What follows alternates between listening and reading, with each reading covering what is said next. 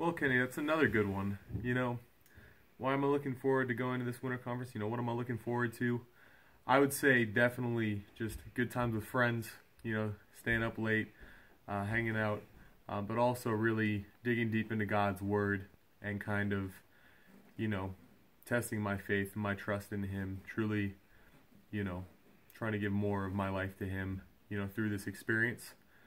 And, you know, something that's always a highlight of Winter Conference is the um, dance party that you get to do on, uh, on New Year's. And uh, know me and Kenny, we had a great time dancing last year, and uh, it's always just fun to be out there with your friends, you know, worshiping the Lord and celebrating the New Year.